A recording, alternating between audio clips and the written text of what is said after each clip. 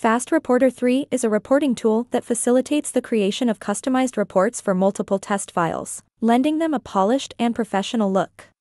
This tutorial will guide you through four simple steps to personalize a report template using Fast Reporter. The initial step is to find a report that you desire to personalize. To begin, you must log into Fast Reporter 3. After obtaining the necessary files containing previous test data, you should drag them into the Files section on the right side of your screen. Then, locate and click the To Match File button at the bottom right of your screen. Once all the files are matched, proceed by selecting the Report tab at the top. Next, you click on the Select button.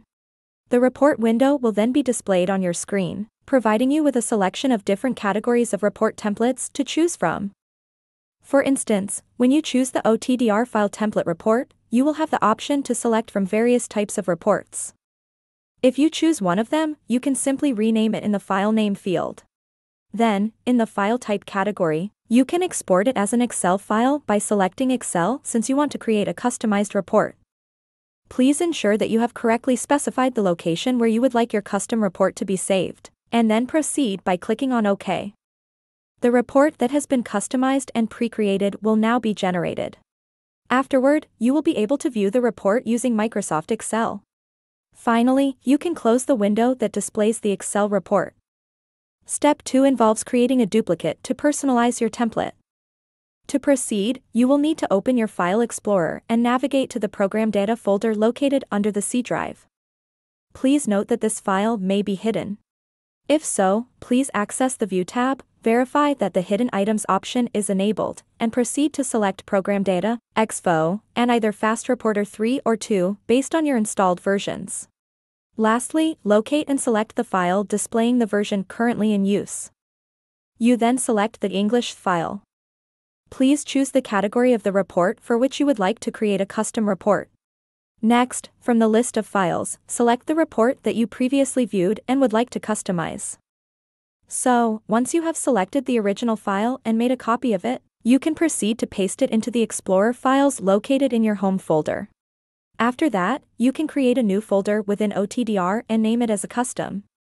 Subsequently, you may move the copied file into this newly created folder and optionally assign it a different name if you desire. You then open it. In this folder, you will find all the syntax that has been applied to the file. It is important to note that each sign and symbol carries a specific meaning. Please refrain from removing any rows or columns, as doing so may disrupt some of the configuration options. If you wish to make changes, it requires a higher level of expertise.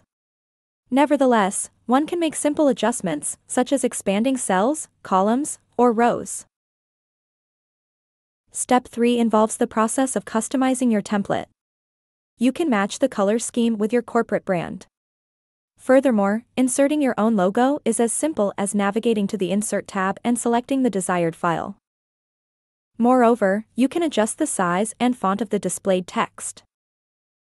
Finally, for a more professional appearance, consider removing the grid lines. If you do not wish for specific data to be displayed in your report, you have the option to either hide it or delete the information. However, it is not advisable to delete the entire row as it may lead to errors in the report. Step 4 is about saving your customized template. Once you have finished customizing, click on the Save button. Then, navigate back to the Fast Report window and click on the Report tab.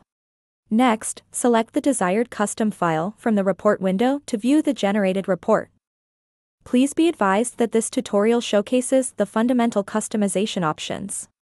If you wish to enhance it further, please refer to the FR3 tutorial on advanced Excel template modification.